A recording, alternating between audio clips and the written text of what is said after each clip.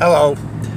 Uh, this is going to go out to people on my Facebook groups, like Families Forward Project. I need to say a few things. There are, maybe some of you are getting upset at me because I'm not getting back to you. Well, right now I'm driving back from my daughter's work at Kroger. I am the only licensed driver. So I am keep, been keeping busy with my family. I drive my ex-wife to and from work. I drive my ex-wife's niece, Tracy, because this is her van, not mine. I haven't been able to do anything other than that. Now, if you people, like one said, if I care, well, I'm getting this out in the open, okay? I have to help people in my family. I want to interview everyone. So please be patient. And, you know, I don't call at a certain time. Well, many times I, I have family that last minute they need to go here or go there.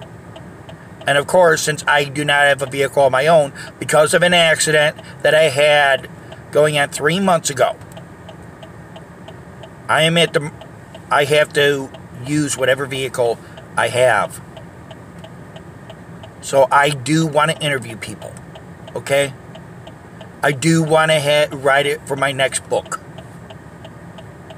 This is the reason why I haven't been able to contact anyone.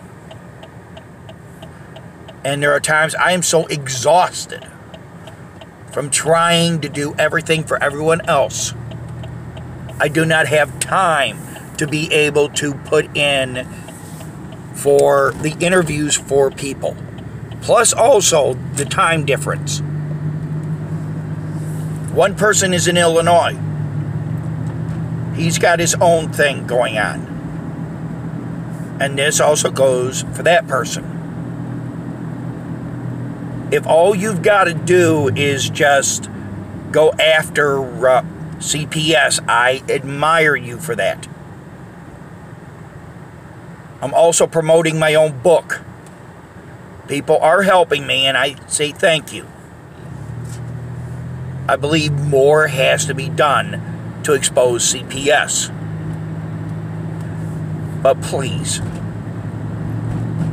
you know, many times just texting out or typing out your story helps. If it's bigger, then break it into smaller chunks. But please, allow me to just get to you when time allows me.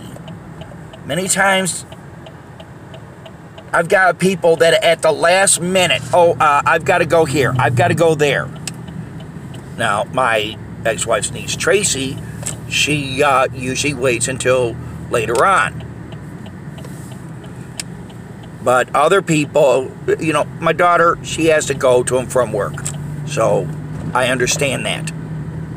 And my ex wife, she has to go to and from work. But sometimes it's just, hey, let's go here, let's go there. So, if you really want me to call you, look, I'm going to have to say I will do my best, but please, have patience. I know your story is important. But also, don't limit me. Don't say, oh, yeah, I want my story, but I, I, I want to wait. Then just tell me when it would be a better time. Okay? That's all I'm asking. Because I'll tell you right now, this is an important matter. This year is the year we have to get this stuff out. CPS is not sitting back. This is a war. So please, Just be patient. I will get to you. I will interview you. So I can get your story in my next book. Just understand that I don't sit around all day and do nothing. I I took this on and it's a lot of work. So, to everyone that contributed their stories, thank you. To those that want to be in my next book, contact me either at all lowercase David Shore 200 at yahoo.com or go to my face, Facebook page, you know, Justice Denied, or just check me on Facebook. Whenever you want to talk, you know, you can call me, and if I don't answer, I will call you right back. Thank you.